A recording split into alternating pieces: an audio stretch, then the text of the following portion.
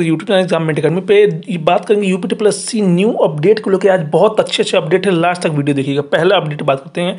फरवरी में क्या कुछ रिज़ल्ट जो आना है, क्या कुछ वन दो का सिलेबस आएगा, जो कि आ चुका है आर अनुदेशक का आएगा कंप्यूटर ऑपरेटर का रिज़ल्ट आना है।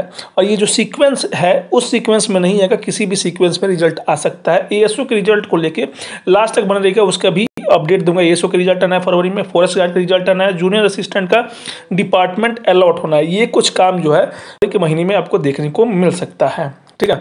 आयोग इस पर काम कर, जो नई वैकेंसी आने वाली है, ये सीक्वेंस इधर उधर हो सकती है, लेकिन ये वैकेंसी आएगी। पहला जो है एजीटीए की वैकेंसी आएगी, जो मैंने पहले बता दिया जूनियर असिस्टेंट की वैकेंसी आएगी असिस्टेंट अकाउंटेंट की वैकेंसी आएगी, तीसरा नंबर पर चौथा नंबर पर जो है न्यू वीडियो की वैकेंसी आएगी स्टेनो की वैकेंसी आएगी, और एक स्पेशल वैकेंसी जो है आपको देखने को मिलेगी। अब बात करेंगे ए के रिज़ल्ट को ए को लेकर आज जो है अभ्यर्थी पहुँचे थे आयोग में, और उनका कहना है कि, मैंने इसके पहले वाले वीडियो में बताया कि आपका रिज़ल्ट जो है पंद्रह तारीख तक मैक्सिमम देखने को मिल जाएगा।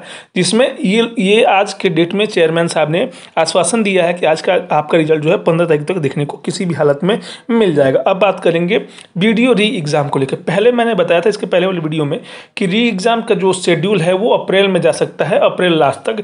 लेकिन जो है थोड़ा सा एक्सटेंड हो गया है। आपका एग्ज़ाम जो है अब जो है मई और जून में जा सकता है। मई, जून में जाने की प्रबल संभावना बन रही है कि आपका एग्ज़ाम जो है मई, जून में हो सकता है। कोई भी अपडेट आएगा यूपी प्लस में इस वीडियो इस चैनल पर आपको अपलोड करता रहता हूँ तो ज़रूर से ज़रूर आप चैनल को सब्सक्राइब कर दीजिए ताकि कोई भी अपडेट यूपी ट्रिपल एस का मिस ना हो, इसके लिए आपको बेल आइकन को दबाना होगा, सब्सक्राइब करके, और साथ में वीडियो को लाइक करिए अपने दोस्तों के साथ शेयर करिए। थैंक यू देखने के लिए जुड़े एग्ज़ाम के साथ।